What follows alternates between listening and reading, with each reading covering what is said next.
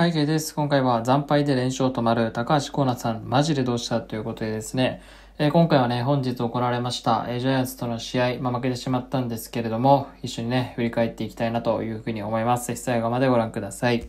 はい、ということでね、えー、今日は西武 VS 巨人試合レポートということで、えー、本日の試合を振り返っていきたいと思います。えー、まずはね、スコアの方から見ていきましょう。え4対1でライオンズ敗戦ということになってしまいました。まあ、ドラゴンズにね、2連勝して、非常にこのいい形で、まあ、ベルナドームに帰ってきて、まあ、連勝を伸ばしていきたいところではあったんですけれども、まあ、ちょっと負けてしまったということでしたね。えー、まあ、それではね、試合の方振り返っていくんですが、まずはね、両先発から見ていきます。えー、ジャイアンツの先発がエースとゴー投手、先週のトバーダノーヒットノーランをやっております。で、対するライオンズの方は、高橋コナ投手ということでね、まあ、高橋コナ投手なかなかね、今シーズン、まあ、思うようなピッチングができていない中で、今日はどうだったのか見ていきましょう。まあ、やっぱりね、なかなか戸郷投手の前にライズ打線点取れなくて、まあ、初回はね、非常にこうチャンス作ったんですけれども、まあ、そこをものにできずということで、まあ、初回2回はね、両チームとも0点ということでした。え試合が動いたのは3回の表、2アウトからヘルナンデス選手にツーベース、その後吉川直樹選手にタイムリーを打たれて先制を許してしまいます。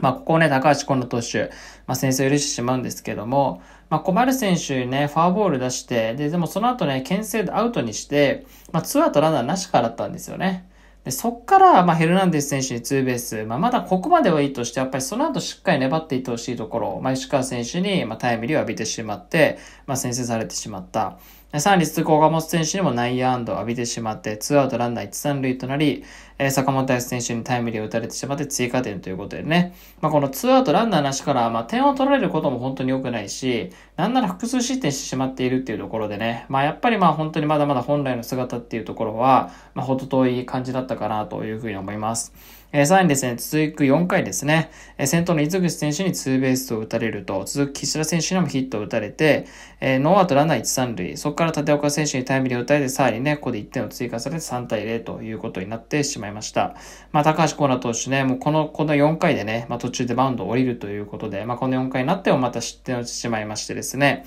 まあ、東郷投手相手にも3対0という状況ですから、もうこの時点ではっきり言って、まあ、かなり厳しい状況にはなってしまいました。で、さらにですね、5回の表ですね、まあ、4回は抑えた田村投手がそのまま買いまたぎをしまして、え先頭の吉川直樹選手ヒットで出塁をすると盗塁を決められて、え続く岡本選手のタイムリーでさらに1点を追加され、この時点でも4対0、まあ、ほぼほぼもう勝負ありかなというところですよね。相手が戸郷投手というところを考えると、まあ、ライオンズの方もね、一応反撃は見せて、7回中村拓也選手のソロでね、1点を返しましたけれども、まあ、それだけで反撃及ばずということで、結果的には4対1ということになってしまい、まあ、連勝も2でストップということになりました。やっぱりね、戸郷投手はそう甘くなかったということでね、今日も打線の方はなかなか点を取ることはできなかったんですけれども、まあ、それではね、まずは主人ちょっと振り返っていきたいと思います。まあ、オーダーに関してはね、まあ、そんなに大きな変化はありませんでしたね。はい。まあ、中村拓也選手がスタメンに復帰して、まあ、今日もコルデロは出ていたということですね。で、コア選手が、まあ、今日は、えー、マスクを被っていたということなんですが、まず1番の源田選手から見ていきます。まあ、源田選手はね、まず初回にね、いい当たりのレフトフライ打ったんですけど、まあ、それがね、ちょっと、丸選手に、まあ、スライディングキャッチで取られてしまって、まあ、惜しい当たりはありましたし、まあ、フォアボールも選んでいたので、まあ、まずまずの活躍だったのかなというふうに思いますね。ただ、ちょっとずつやっぱ打率が落ちてきているっていうところがありますので、まあ、もう少しやっぱりね、まあ、ヒットは出していってほしいなというふうに思います。えー、続いて2番の滝沢夏夫選手。もう滝沢選手が本当にここ最近素晴らしい活躍ですよね。昨日も2安打で、まあ、今日もね、えいきなり1打席目、戸郷選手からスリーベースを放つなど本当に素晴らしい活躍でした。で、守備でもね、まあ、飛び込んでサードゴールキャッチしてアウトにしたっていうのもありましたし、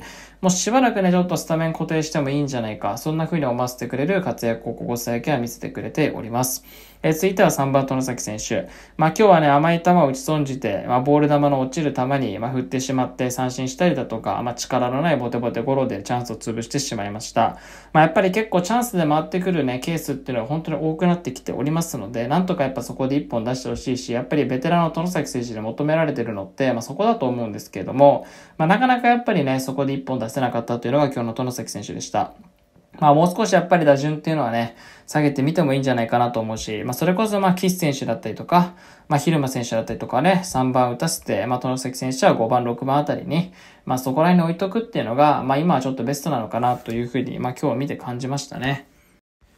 はい、続いては4番の中村拓也選手ですね。まあ今日もそのホームランを放ち、まあ今日でね、7号ということで、リーグ2位の本塁打数になりました。まあ本当にね、40歳という年齢、まあ今年41歳迎えますけれども、それでもね、本当にホームランを狙えるぐらいの、まあ、本数を打っているっていうところ、本当に素晴らしいなというふうに感じます。まあまだまだね、衰え知らずなので、まあ今後もね、頼りになるなというところですね。えー、続いて5番の蛭間選手。まあ今日はね、3打数0安打というところで苦しかったです。まあ、戸郷投手の前にやっぱり自分のスイングを全然させられ、させてもらえてなかったですね。当てただけの内野ゴロっていうところをね、まあ、2個確かありましたし、まあ、あとはやっぱりもう変化球にね、もう少しやっぱバットを止まるようになっていってほしいんですよね。今日もまあ追い込まれてからフォーク打たされて、まあ内野ゴロっていうのもありましたし、まあ実際にこうデータってところを見ていっても、ボール球スイング率が46%あってですね、50%近くあるんですよね。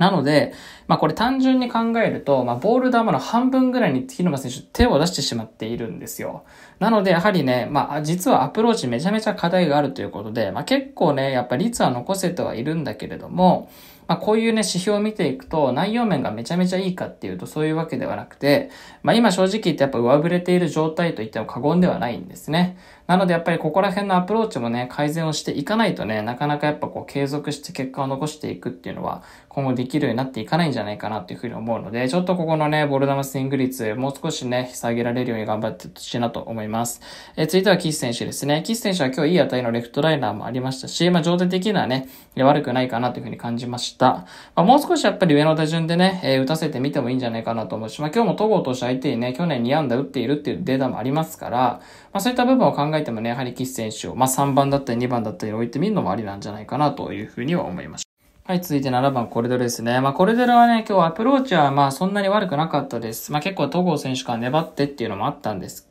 けれども、まあ、いい当たりはもちろんありましたが、ただやっぱりね、まだ昇格をヒット1本も出ていないというところがあります。やっぱりもう結果を残してほしいんですよね、助っ人の外国人選手には。もう我慢するフェーズは正直終わってるのかなというふうに僕的には思っていて、まあ来シーズン契約を結ぶ可能性って正直このままだと、まあ、ほとんどないと思うんですよね。まあ、こっからちょっと打ったところで、まあ、2割そこそこの打率で、まあ、ホームランもね、まあ、2桁1かどうかぐらいだと思うんですよ、正直。よっぽどのことがない限り。でも、その選手を、まあ、来年契約するかどうかっていうところを考えると、本当に、まあ、これだけ結構ね、我慢して今4試合使っていますけれども、まあ、その起用法って本当に賢明なのかってところなんですよね。それだったら、まあ、もう少し若い選手だったりとか、まあ、もう少し確実性のある選手を託した方が来シーズンいる可能性の高い選手たちにチャンスを上げた方が、まだ来年につながるんじゃないか。なんならね、今これ結果出てない目の前の結果だって、そっちの方が出るんじゃないかっていうところなんですよね。アプローチに課題があって、まあ、もしかしたら出会い頭のホームランが一発あるかもしれないけれども、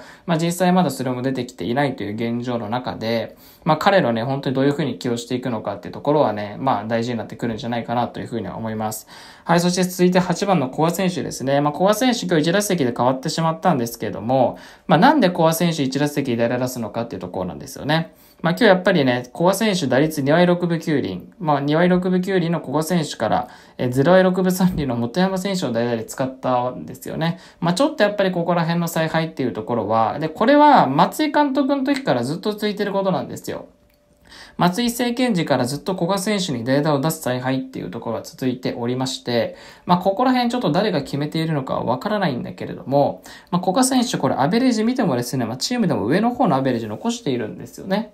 で単純にやっぱり、まあもう少し打順上打たせてもいいんじゃないかなところもあるし、なんならやっぱ途中交代させるのって結構もったいないと思うし、なんなら0割台の選手に変えるってどういうことっていう話だと思うんですよね。なので、まあそういった部分を考えてもですね、まあコア選手にやっぱ代打を出すっていうところは、まああんまりやっぱ今後は本当これ前から言ってるんですけども、しないでほしいなというふうに思いました。え最後は9番の佐藤隆星選手ですね。まあ今日はね、ツーベースも放ち、やっぱここからちょっともう少し状態上げていってほしいなと思います。まあ、状態悪い中でもですね、ボール球スイング率は、これリーグの中でも近藤選手、ソフトバンクの近藤選手、そしてオリックスの福田周平選手に次ぐ3位ということでですね、実はね、やっぱ選球眼の数値を見ていくと、まあ、めちゃめちゃね、今年もいい数値は残してくれているということになっております。で、打球もね、今日はまあ、ちょっとフライ気味の、ま、ツーベース打って、打球も上がってきておって、角度もついてきておりますので、まあ、ちょっとね、今後もう少し浮上っていうところを期待していきたいなというふうに思います。まあ、野手に関してはね、今日はもう正直言って、まあ、戸郷投手だったので、まあ、仕方ない部分はあったかなと思います。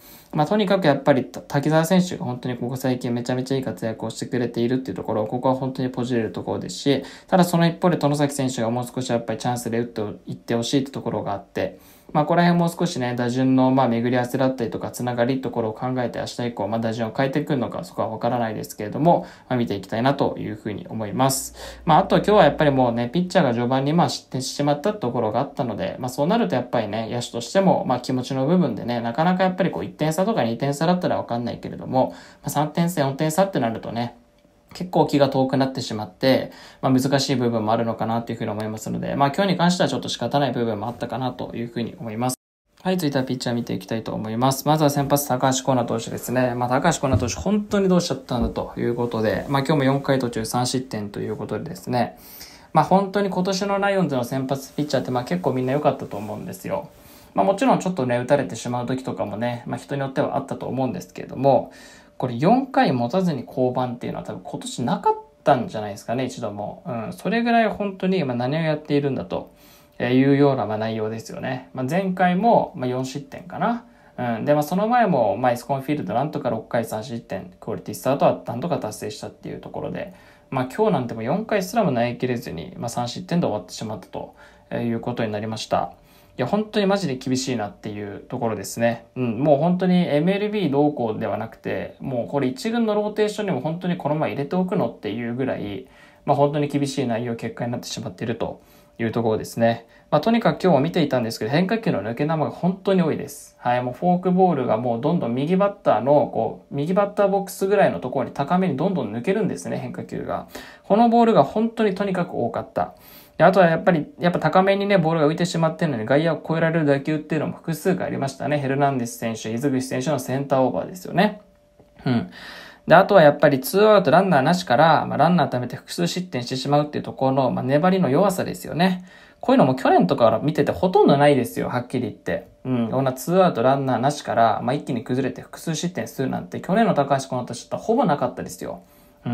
まあ、それもやっぱり出てきてしまっているし。で、あとはやっぱりまあ、カットボールだったり、フォークボール、変化球の数値ってところは今シーズン本当にめちゃめちゃ悪くなっております。で、実際にまあ、打球の質の数値を見ても、まあ、フライ率がめちゃめちゃ上がって、ゴロ率がめちゃ低下してしまっているんですね。で、本来の高橋コーナー投手って、まあ、カットボールだったりとか、フォークとかでちょっとタイミングをずらしたりだとか、まあ、バッターの芯をずらしていって、まあ、ゴロを打たせていくタイプの選手だと思うんですけれども、まあ、今年はゴロ率が多分10%までいかないけど、まあ、5%以上は低下してしまっているんですよ。だからゴロアウトをほとんど稼げることはできてなくて、まあ、打球やっぱそれはもう高めに行ってしまっているという証拠だと思うんですね。打球が上がるっていうことは。変化球やっぱり低めに請求できていないのが、まあ、多分今シーズン一番の大きな要因になっているんじゃないかなというふうにも思うし、まあ、今日見ていたらやっぱりそうなんだろうなっていうところを本当に改めて感じたので、まあ何がね、おかしいのかちょっとわからないですけれども、まあ明らかに去年とか一昨年とかと比べると、まあなんならその前とかと比べて本当にもうここ数年で一番悪いぐらいなので、なんとかね、まあちょっと二軍調整ところも本当に試合に入れても、え、いいんじゃないかなというふうには思いました。はい、続いてはね、まあ、与座投手ですね。与座投手はね、今日、まあ、カーブとまっすぐでうまくタイミングをずらして2回無失点ということでね、素晴らしいピッチングだったと思います。ファーボールちょっと坂本彩選手に出してしまったんですけれども、まあ、しっかりとね、コーナーにも投げ込めることができていましたし、まあ、ちょっとね、先発ピッチャーが高橋光野投手もこういった状況で平投手も離脱してしまっている。で、まあ、あと渡辺太郎投手、某高橋投手一応入ってるんだけれども、まあ、この二人もちょっとどこまで安定感があるのかっていうのはね、まあ、微妙なところなので、まあちょっと与座投手のどっかで、この交流戦の間でもいいので、まあ先発のチャンスをやっぱ与えてあげてほしいなというふうに思いました。まあそれぐらい思わせてくれるような、まあピッチングだったんじゃないかなというふうには思います。はい、そして最後はマメラ投手にね、ちょっと話したいと思うんですけれども、まあマメラ投手ね、今日、今いいカーブのボールもあったんですけれども、まあやっぱりその変化球の再現性ところはとにかくないですよね。まあ今日確か先頭吉川直樹選手だったかな。吉川選手に投げたカーブめちゃめちゃいい一球があったんですけども、結局ね、一球だけであとはもう全部カーブ抜けてしまったりとかしていて、まあそこの再現性ってところはとにかくなかった。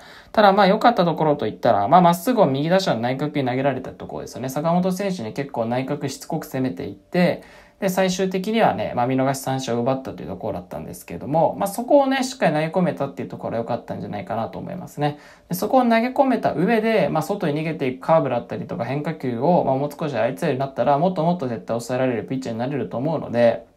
まあ、とにかくやっぱり、まあ、そこを本当に鍛えていってほしいなというふうに思います。はい、まあ、ピッチャー陣に関してはね、まあ、今日もまあ、中継ぎはちょっと田村投手が失点してしまいましたが、まあ、それ以降は良かったんじゃないかなというふうには思います。で、あとやっぱりまあ、この系統に関して言うと、まあ、とにかく買いまたぎはもうほんとさせないでほしいなというところですね。まあ、昨日も平井投手を買いまたぎさせて、まあ、ちょっと平井投手怪しくなって、まあ、最後佐藤投手火消ししてなんとか抑えてくれましたけれども、まあ、今日も田村投手をね、買いまたぎさせて、まあ、結局失点につながってしまっているので、まあ、開幕だけはやっぱりもう今後ね、なるべくさせないようにね、まあ、していけると。まあ、もちろん試合展開にもよるのでね、毎回毎回開幕的ダメっていうわけではないけれども、まあ、なるべくね、開幕的はさせないような投手運用ってところが、まあ、できるといいんじゃないかなというふうには思いました。まあ、もう本当に今日に関しては、まあ、戸郷投手だったっていうのもありますし、もう高橋光成投手が早々にね、序盤にあんだけ複数失点してしまうと、なかなかやっぱ勝つのは難しいかなっていうところなんで、まあ、切り替えてまた明日、また木投手プロ初登板ですけれども、まあ、ちょっとね、プロの厳しさをね、与えてあげられるように、まあ、それだけ本当に、え打線にはね、頑張っていってほしいなと思いますし、まあ、谷部太郎投手もね、まあ、同い年の戸郷投手がこんだけ素晴らしいピッチングしてますから、まあ、負けないようにね、頑張っていってほしいなというふうに思います。また切り替えた明日の試合見ていきましょう。以上です。はい、今日も最後までご視聴いただきありがとうございました。今後も埼玉西武ライオンズの最新情報や考察、解説をお話していきます。え、少しでも動画がいいと思ったらグッドボタン、チャンネル登録の方よろしくお願いいたします。え、Twitter も毎日更新しておりますので概要欄の方からチェックしてみてください。